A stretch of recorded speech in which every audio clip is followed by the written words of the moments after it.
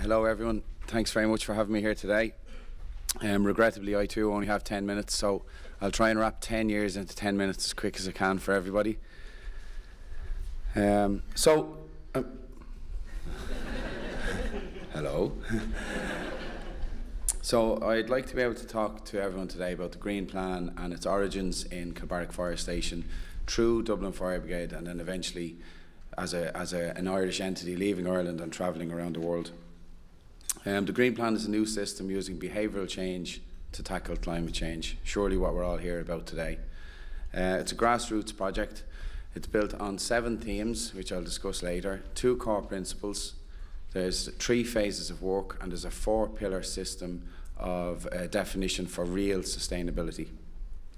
Um, most important thing, if I left here today and asked one favour of you, it's to remember that we need to save money and then use that money to reduce emissions, and that helps society. So save the money first. So the problem started uh, in Kilbarrack Fire Station in 2008.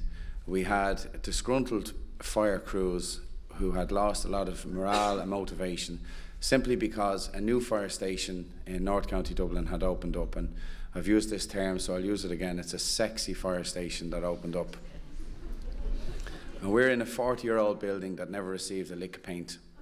And 50% of our crew are gone with all, all their experience, over 20 years' experience each, and they're replaced by a load of recruits. So it didn't really make for a nice place to work. Uh, the building itself, as I described, was in need of repair and an upgrade. But more importantly, it had things like high energy demand, no insulation, physically sick building syndrome. But because we're your fire service, we just have to keep the show on the road. So, kind of any building like that was built at a time when energy dependence was cool. It's okay to need lots of fossil fuel. And designs for buildings, architecture, planning, engineering, everything was built around that concept. Nobody minded because no one needed to mind because we didn't have the education we have now, which lets us know there's a problem.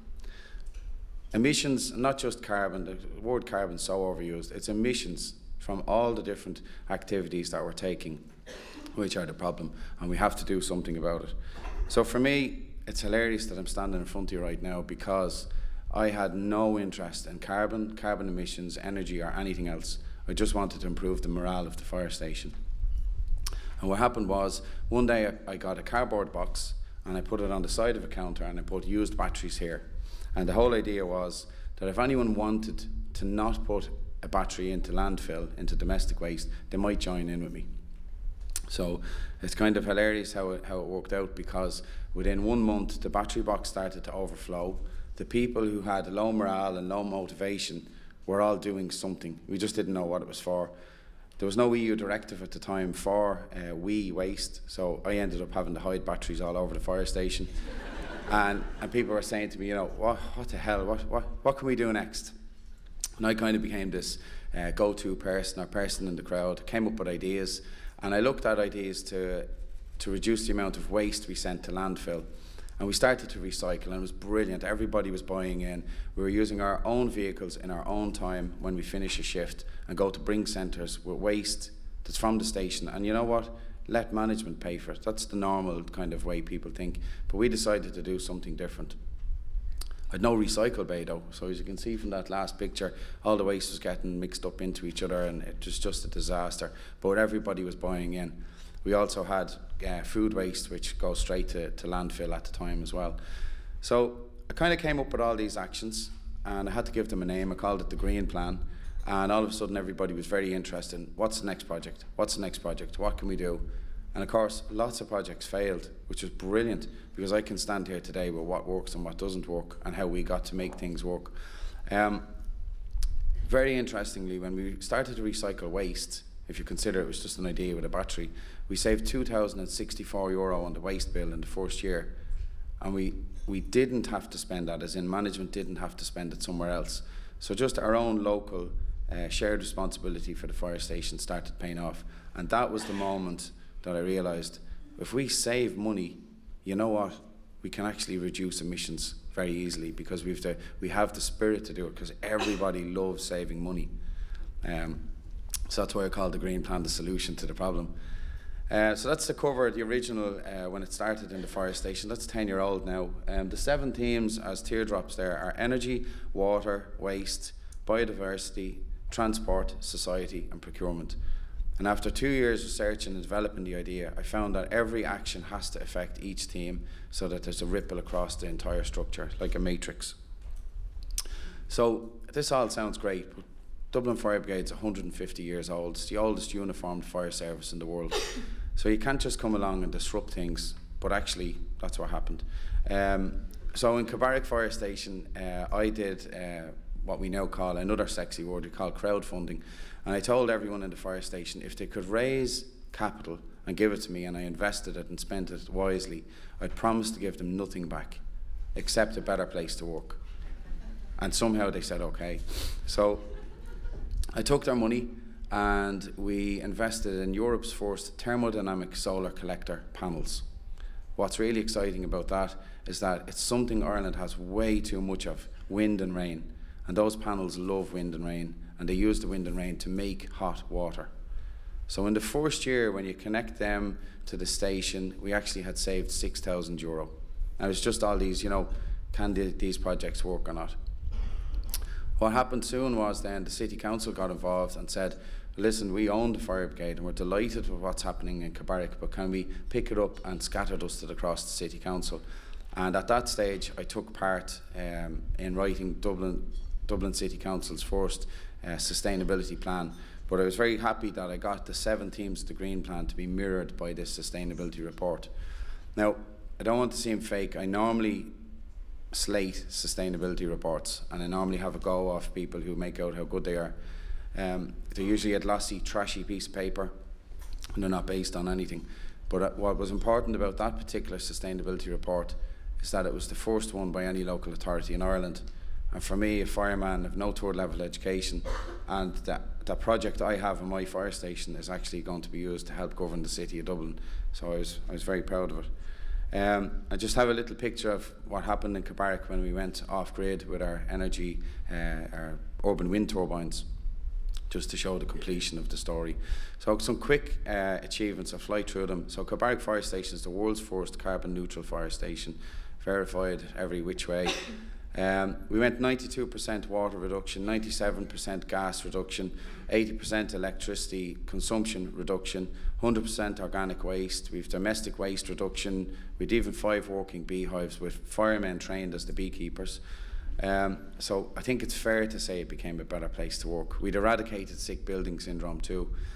But where it gets really important is if I stop talking about Kilbarrack and I move on to something much, much bigger, and that's Dublin Fire Brigade as the organisation.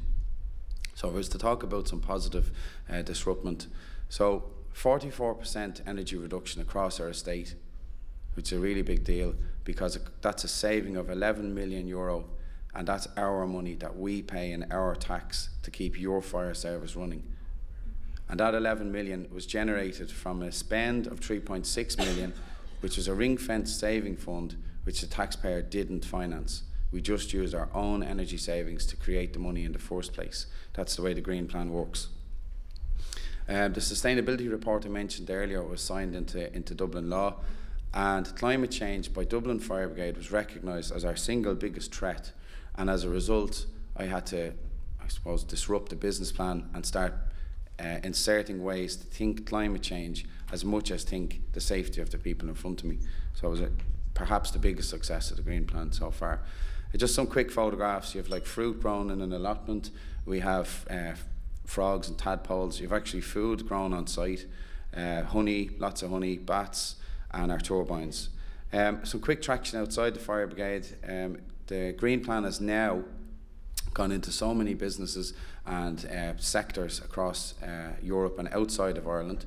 Um, there's been 23 startups and nine public-private partnerships. Um, I actually own three of the startups, so if you can really think about saving money, there's ways to generate money and help your, your family. Um, I've been involved in steering five European Union projects over three years each, uh, which ended in two European Union directives. And I know Connie Hedegaard, I heard was mentioned, was here, but I had the pleasure of her flying over to meet me in Dublin a few years ago and learned firsthand about what we're doing and what we can uh, send on to Europe as best practice. And that's um, a document I'd written for Dublin Fire Brigade and Dublin City Council, which is now referenced as best practice in the EU. Um, so just where we're at now, I'd wrap up and just say, look, you know, it's all about every single person in this room is a change maker, and not just because it's the Citizens Assembly. It's because every one of us should make a change. Because if we believe in something strong enough, we don't know how to get there, but we are the solution to the problem, and this is the best time to come together and do something. Uh, Mulranny in, in County Mayo took on the, the Green Plan, and last year in the last 12 months was awarded as Ireland's best responsible tourism des destination. The work they've done is just phenomenal. Um, I launched the Turning Ireland Green campaign with the mayor, of, the Lord Mayor of Dublin, and he became the first student of a course that I've given away for free online.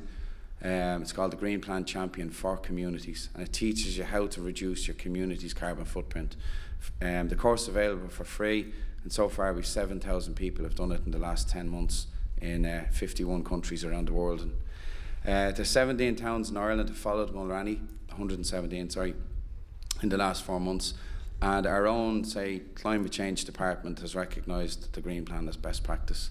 And I suppose it's important to tell you all I'm still a fireman a paramedic at Dublin Fire Brigade. Um, so just the last thing I'd finish up on is because every one of us is a change maker, and I'd say the Green Plan is removed a we must do something approach and replaced it with physical, actual actions. So thank you very much.